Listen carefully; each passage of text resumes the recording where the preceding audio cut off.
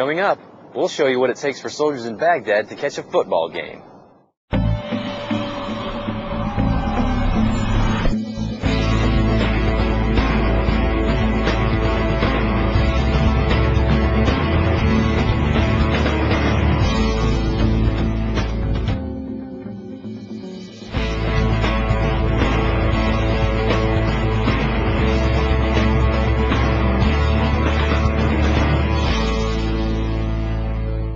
Welcome to Cav Country. I'm Army Sergeant Jesse Granger.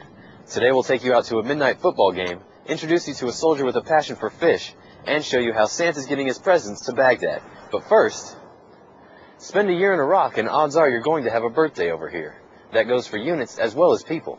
Specialist Scott Patilla was there when the 4th Squadron 14th Cavalry Regiment celebrated their birthday and found out they had more than one reason to celebrate. There were no balloons or a clown, but there was plenty of cake to go around at the 4th Squadron 14th Cavalry Regiment's second birthday in Iraq. It was more than a birthday celebration. It was also the end of their last day of combat operations. Their birthday present was a trip home to Alaska. Soldiers had mixed feelings about going home. I feel bad that we, we've been doing a good job over here, and I, I would like to continue to help these people over here. But you know, I've, I've done my job, and so these the rest of the guys around here. So I feel we deserve, you know, deserve to go home. During the celebration, the 414th took the time to reflect on their deployment and watched videos of a time they will never forget.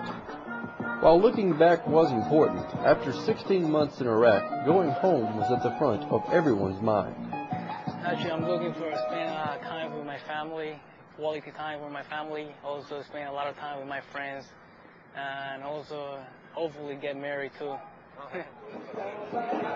After taking part in combat operations from western Iraq to Baghdad, going home was the best birthday present these soldiers could have received. From Baghdad, I'm Specialist Scott Patillo, 7th Mobile Public Affairs Detachment. Though you may not be able to tell by my surroundings, it's getting close to that time of year again. No, not tax season, Christmas. PFC Ashley Torres found out how holiday cheer is making it in country. It's beginning to look a lot like Christmas in mailrooms across Baghdad. There's no snow. The only white you'll see is priority. These mailroom soldiers have lots of sorting to do, and the gifts keep pouring in.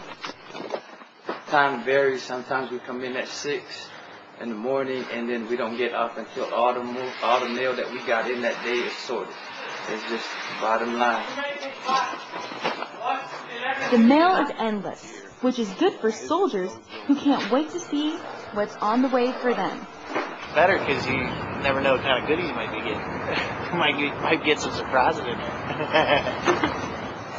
you know, just hearing from your family, hearing from your friends, getting packages means a lot to know that they, uh, you know, they're thinking about you. And it's those goodies that have soldiers dreaming of a white Christmas. And remember, folks, send your Christmas gifts before December 4th. But don't send lighters, weapons, or ammo. I'm Army PFC Ashley Torres with the 7th Mobile Public Affairs Detachment. And now it's time to take a look at the soldiers who make up Multinational Division Baghdad with our Army at war. This is our Army at War, Camp Liberty in Baghdad, Iraq. Hi, I'm PFC Andrew Williams. I'm just out here fishing in Z Lake today. I'm the driver for First Cav IG. On any given morning before work begins, you can find PFC Williams here on the shore of Z Lake. Uh, when I was a kid, uh, my dad used to take me fishing like all the time.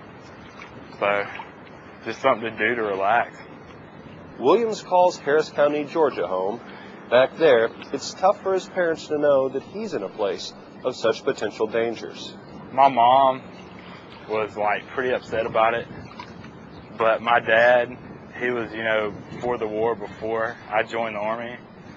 So, the first thing he said was, well, I can't be against it one time because my son's going and be for it all the rest of the time because other people's sons and daughters are going. So he was all right with it, but my mom freaked out for a good couple days. Williams understands he was trained as an infantryman, and it bothers him that he's here in relative safety while his friends are not. You know, we all knew when we were all in basic together, we all knew where our orders were. So we were like, yeah, well, you know, we might be in the same company or whatever. And then I got completely separated from all of them. So I didn't like that too much. They've already, I've heard, been in some firefights and stuff. So I wish I was with them. You got to remember there's people out in Ramadi and all that that are getting, you know, shot at every day.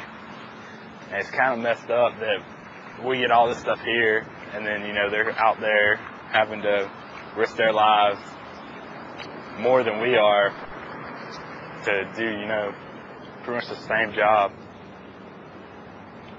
Fishing is what puts PFC Williams' mind at ease. On any given morning, you can find PFC Andrew Williams out here beside Z Lake, fishing for fish and finding peace of mind.